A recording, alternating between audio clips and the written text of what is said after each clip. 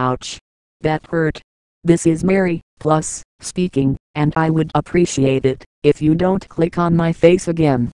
You have clicked on my face one times. I have been talking it over with the others in here, and they don't much like it either. Ouch. I told you before, that really hurts. I have already asked you two times to stop clicking on my face. How would you like it if someone kept clicking on your face? It is bad enough that we are all trapped inside your computer. I will not ask you again. Thank you very much. Ouch. That hurt. This is Sam, plus, speaking, and I would appreciate it if you don't click on my face again. You have clicked on my face three times.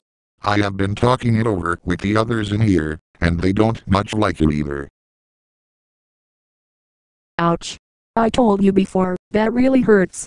I have already asked you four times to stop clicking on my face. How would you like it if someone kept clicking on your face? It is bad enough that we are all trapped inside your computer.